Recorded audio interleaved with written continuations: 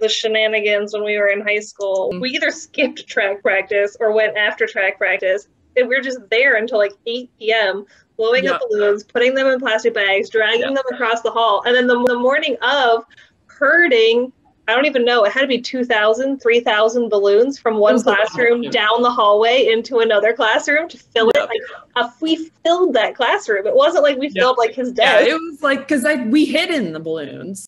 There were helium ones because there were ones that were up on the ceiling.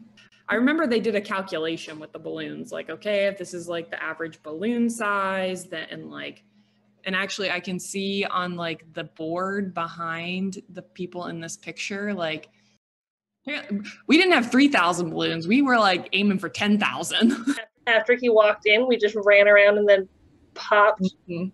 9,000 balloons. at 7.30 in the morning.